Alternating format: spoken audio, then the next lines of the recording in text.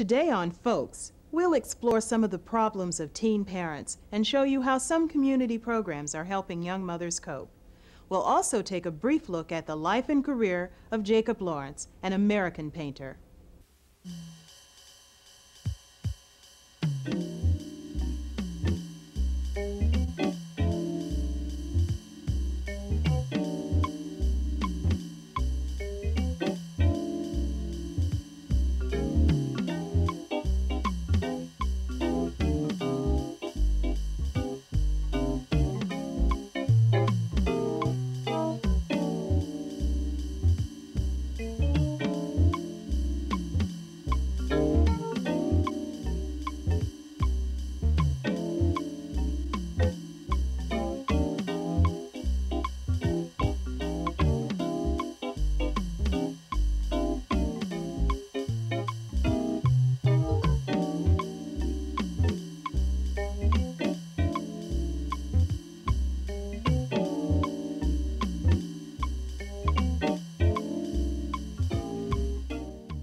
Welcome to another edition of Folks. I'm Sonya Masingale. The feminization of poverty is a new way of describing an old problem.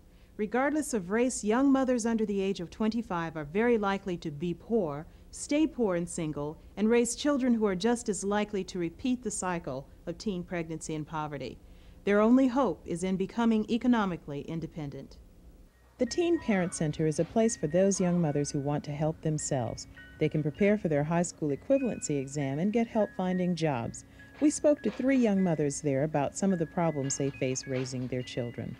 Well, I had to get up late at night and take her to the doctor when she was sick. And I had to sit out at Earl K. Long for about six hours, waiting and waiting. He never called us, so I had to leave and come back home. So I went back out there that morning.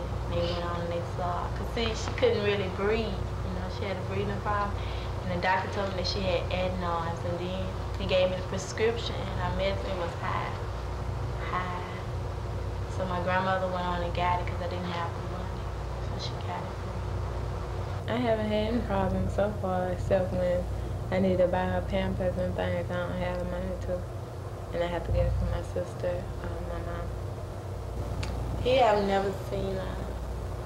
I was worried about it at first, but then I got me a job, so I'm not worried about it. But I'm worried about her growing up asking me who her dad is. Does he know about her? Mm-hmm. He denies her. Continuing education is only one part of the program at the Teen Parent Center. They are attempting to better the lives of these young women by making them better parents and increasing their ability to find jobs. We have both individual and group counseling sessions as well as a new program that we're about to start, which is called Work Experience, and that ties very closely to the to the employment prep. What we attempt to do there is after a young girl has gone through the program and she's at a point where we feel has made some decisions and is ready to try out employment, through our Work Experience program, we're able to place them on a job for six to eight weeks. And all we're attempting to do there is to expose them to the world of work. Do you find yourself handicapped at all by not being able to discuss abortions as an alternative? We are funded under the Title 20 legislation, and that legislation primarily or specifically says that we will do no abortion counseling, no referral. The other thing is we'd like young women to young women to look at the other options that are available to them. If you look at the national trend, more young women are opting to keep their children as opposed to surrendering for adoption. And a lot of it is because they don't see that as a viable option for them. And so we want to expose them to those options that are also available. State officials around the country have determined that welfare programs fail to provide solutions to the problem of teenage pregnancy. This was an issue at the National Council of State Legislatures meeting in New Orleans. It's been found through a lot of different analyses in, that have been recently done that the teens who become pregnant are also teens for whom self-sufficiency would be a substantial problem even if they weren't pregnant. So that there are already a set of characteristics, if you like, um, that mean the teens need particular help even if it it hasn't led to pregnancy for them.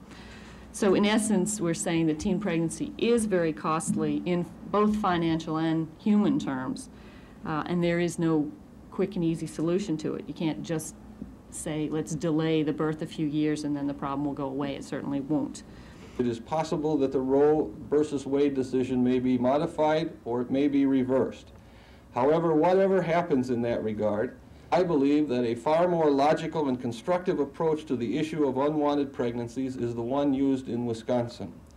What Wisconsin concentrated on was elimin eliminating the need or the perceived need for abortions and emphasizing the alternative of pregnancy prevention. After all, the best way to avoid abortion ever becoming an issue is very simple. You just don't get pregnant. That should be simple. State Representative Jewel Newman feels that the answer lies in education and feels that churches must play a key role in this. Churches have a responsibility they have to play because how you look at it, churches have a responsibility to the community. At one time, we could look at the federal government to do it, but the money isn't there. We can't go to the state in the, in the long run. So it's up to us as individuals, that teachers, people that can understand, to get to these kids and tell them. Uh, the medical profession has been working very good with us. It's, there's no excuse that uh, these kids should get pregnant now. I think they need the proper guidance, and we can stop it. Teenagers will get pregnant, and the pregnancy rate is increasing in Louisiana. Will the church be enough? Well, you know, when you start dealing with public policy, you got um, church groups that are against abortion that you have to, to live with, and that's their belief. And uh, in the meantime, we have to look out for these girls that uh, continue to get pregnant. And it's going to take an education process. And through education, you can solve any problem you have if it, edu through education. And what I, I know is a, it's a process that we have to use. We've got to educate our kids and get forums going that they can come out and hear the right type of talk. And regardless where they go, that's someone be to talk this stuff to them. Because if you talk it long enough, you finally catch on to them. Our studio guests today are Ms. Lyn Covington, who is a social worker at the Teen Parent Center in Baton Rouge, and Mrs. Etta Millender, Director of Youth at the Greater New Galilee Baptist Church in Baton Rouge. So tell me, Ms. Covington, do you agree with Representative Newman is about the church's involvement with uh, teenagers in preventing pregnancy and making them better parents? I certainly do. Churches and other community resources, the schools also. Mrs. Millender, uh, you certainly agree because of your program. Could you tell us something about the youth program at the church? Yes. Our youth department is in action. We at the Greater New Galilee Baptist Church quite proud of our youth department. We help youths to develop a positive self-esteem we help them to set goals so that uh, teenage pregnancy can be combated. I see. And what kind of success are you having with this in your church? We are having fantastic response from the youth. Uh, the rate is 99.9% of the youth at our church there has only been one known pregnancy since we have formed the youth group. How, how, long has it been in operation? It has been in operations, it's going into its second year. And as I said, we have been very, very active. Well, what are you telling the girls and the boys about preventing pregnancy? In telling them, we have certain ways in which to reach them. Number one, we have our youth meetings, our regular youth meetings. Then we have lock-ins. Lock-in is where the youths are staying overnight. At the lock-ins, we have speakers, we have uh, someone from the Teen Parenting Center to come out and show films on teenage pregnancies, how to avoid teenage pregnancies. We have speakers from the Sheriff's Department, the District Attorney's Office. We have um, different ones to come out and share with us on how not to, on how to say no and mean it. We have uh, classes on sex and dating. We have classes on anything a youth might want to know about sex. We have someone available for them to talk to 24 hours a day. I find that if a youth had someone to talk to at the particular time that they need it, then they're more apt to say no. I see. And what if someone involved with your program does become pregnant anyway? How would you react or what would you do? With love. We want them to know that, number one, your body is a temple and you're to keep it holy. We want them to know what the Bible says. We want them to be knowledgeable of the fact that Satan is going to try to deceive them and going to tell them, hey, this is right. But once we get them in the knowledge of knowing what the Lord says, what the Bible says, and they actually knows it for themselves, we want them to know that they are somebody. And when they know that they are somebody and they feel it, then they're not going to want to do anything that's going to harm them. So the youths are active, as I said. We get great response from them. We have rap sessions. The rap sessions are geared to questions that they may want to ask. Boys may be having problems with girls as well as girls having problems with boys. A lot of times I've had kids to come and say, I almost had sex with him because it said he was going to quit me. Well, then there we are to motivate them, to let them know, hey, it's sex love. Okay. Do you love yourself? Ms. Covington, Yes. uh, you're dealing with mostly teenagers who are already either pregnant or parenting. That's right. Are they still active in the church, in their churches? Uh, most of them say that they attend church, but I haven't heard any say they're involved in a program uh, like she's just described. So you think that uh, this program is fairly unique?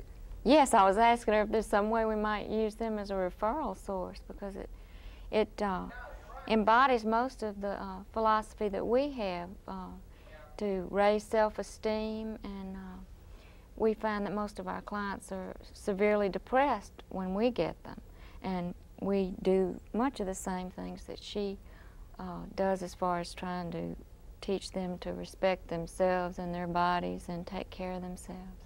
Well, what particular problems are you running into in, uh, in coaching these teen parents to become better parents?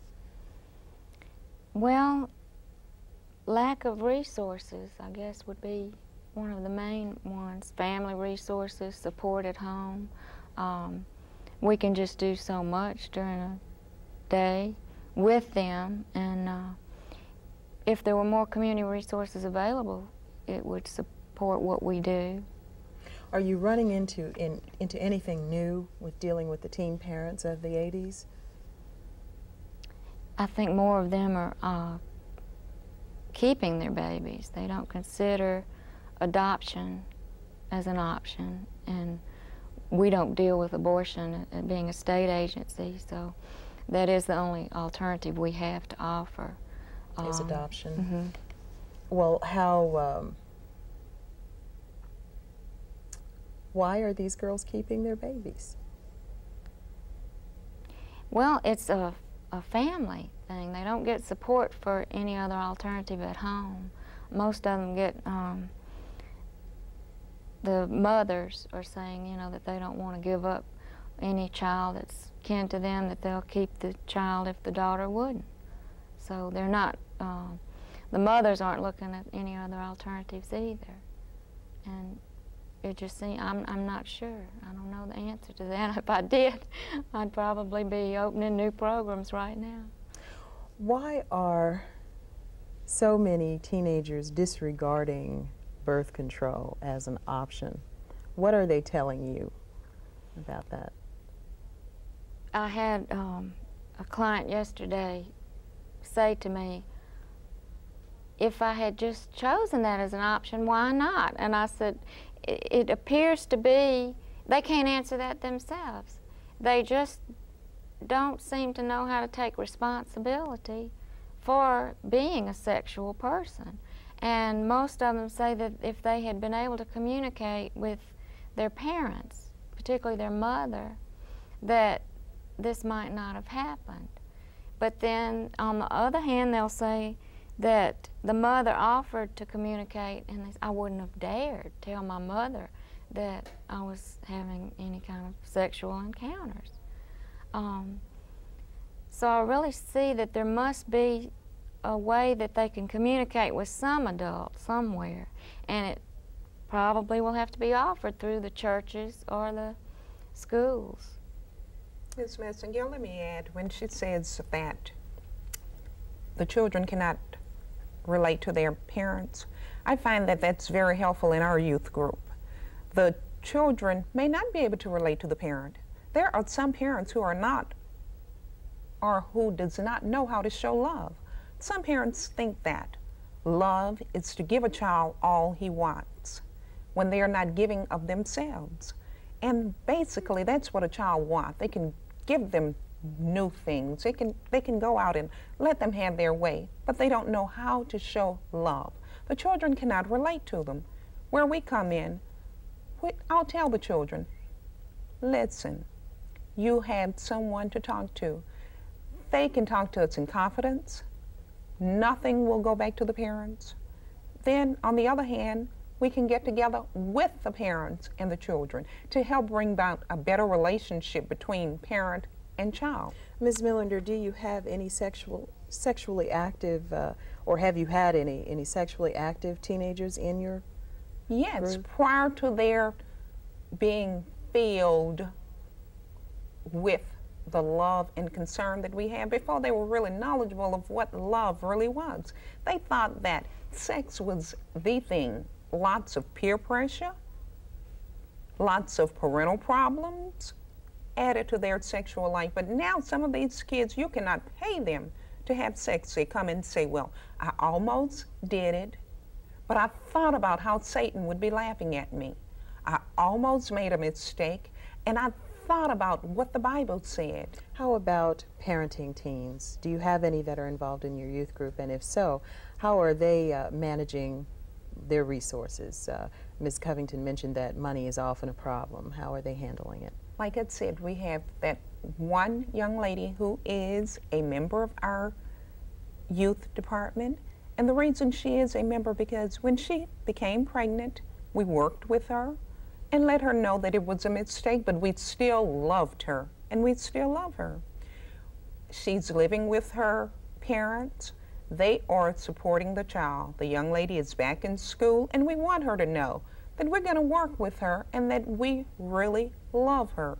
We don't want her to make mis a mistake again, nor do we want any of our youths to make mistakes. But we want them to know that if they do, we're going to still love them and we're going to work with them. And the youths themselves are behind the young lady. They are with her and they're saying, hey, we love you too. That means a lot. Ms. Covington, speaking of, uh, of repeat pregnancies, is there any particular trend now towards that uh, with uh, any of the clients that you see? Unfortunately, yes. We're seeing a lot of repeats now. Is, is there a reason for that? I mean, that you can uh, pinpoint? I see the um, young women as very depressed. They get the um, uh, birth control from family planning uh, that's readily available. Um, then they don't take it. They, they still don't seem to have enough um, concern about their lives or feel like they have enough control over them uh, to take responsibility. It's, it's uh, a very depressed population we work with. And there may be a, a boyfriend that, a new boyfriend comes along and they are afraid they're going to lose him and they choose to get pregnant for him. Well, do teenagers always make problem parents? Is that always the case? No, I wouldn't say that's always the case. Um, we see different parenting styles uh, among our clients, and many of them parent like their parents did. It's a cycle, and some are better than others. Thank you very much.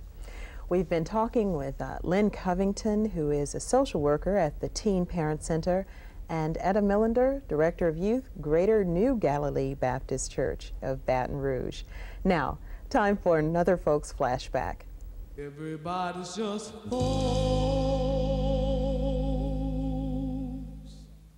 This is how the Baton Rouge skyline looked a couple of years ago, and this is how it looked in 1960.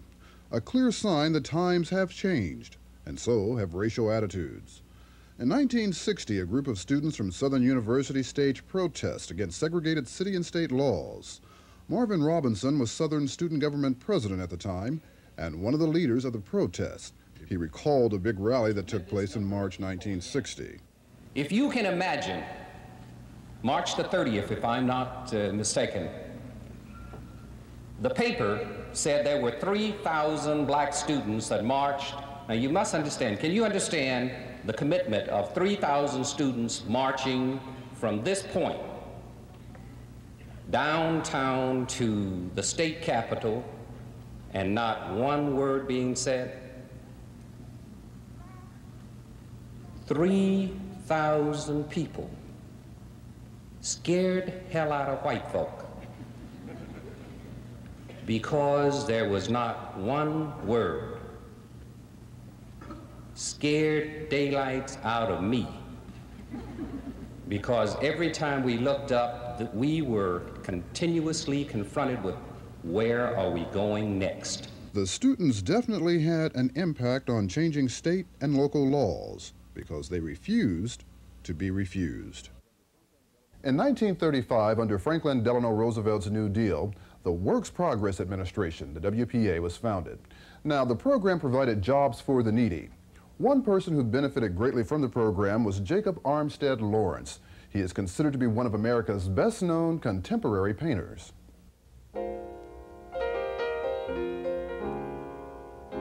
Jacob Lawrence grew up in Harlem during the Depression.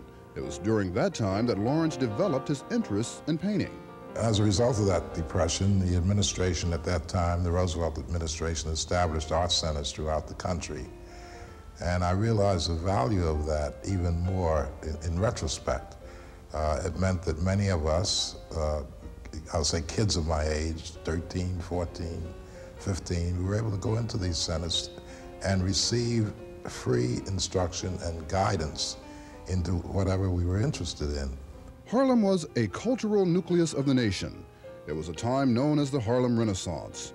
Lawrence met many well-known writers and artists from the period, people he says influenced and encouraged his painting career. Claude McKay, the writer, Augusta Savage, the sculptor. Uh, these were all people in the community. She was a sculptor, of course. Uh, there was Charles Alston, Henry Bannarn, um, and, and some people of whom I've forgotten, but I would say there were, there were many people in the, in the community that really uh, helped me, encouraged me, and, and so on. The WPA's Federal Art Project was also instrumental to Lawrence's career. He says to him it was a school in many ways, the interchange with many diverse artists, the opportunity to concentrate on work with all materials provided, and the dignity of having a good job in hard times. Lawrence made his mark in the art world before his 21st birthday. His first major series of paintings, completed in 1938, dealt with Toussaint Louverture, the leader of the Haitian Revolution, a series of paintings that many people said was one of the most important narratives of its time. During that period, uh, we had streetcar, uh, we call them street soapbox speakers. And we also had afternoon uh, clubs, history clubs in school, clubs of various kinds, and through teachers in school and through listening to the various speakers on the street talk about various heroes, uh, black heroes, uh, and one of the people they, one of the persons they mentioned was uh, Toussaint Louverture, and of course I, I was acquainted, I became acquainted with Toussaint Louverture through many of the black teachers that I had in school. And it was a very dramatic story for me, and uh, I loved the story, as most kids would. Uh, it represented uh, a symbol of someone who had overthrown oppression. I guess it was a symbol I could relate to and, and associate with, and it was very dramatic. I decided to do that in a series form because I could not tell a story in one painting. You know, that's difficult to do unless you're doing a mural, something of that sort. So that's how that, that developed. It was through the Toussaint Louverture series that Lawrence developed his painting style, expressionistic, the style that he has become famous for. That ex expresses my feelings about content, about subject, and my, some of my first uh, paintings outside of the historical theme were of my experiences within the Harlem community, of my, my visual uh, response to, to things that I would see. And I attempted to put these things down on paper in color, movement, and so on. Lou Stovall is a master printmaker who has long admired Lawrence's works. Stovall says Lawrence's Toussaint Louverture series is ideally suited to translation through the silkscreen system, a system that Stovall himself developed. I guess Jake was roughly 20 years my senior. Uh, uh, so I'm the, I would be the, the benefactor of 20 years of his good works. And so I've had 20 years, you know, advantage uh, over his beginning. And so for me to, to come with my, you know, technology and, and sense of, of, the, of the medium, sense of the art and so on, and to do an excellent print for him is an opportunity that's, uh, that's rare, and I really appreciate it. Lawrence has received numerous awards and honors throughout his painting career. This year in New Orleans, he was presented the Amistad Research Center's Fine Arts Award. The 69-year-old artist can best be described as a humanist with a moral vision. I, I select the uh, black image because I know that image, but I would like for that to represent uh, uh, mankind in general, this, this, this struggle, this, this, uh, which is very beautiful and, and that people go through.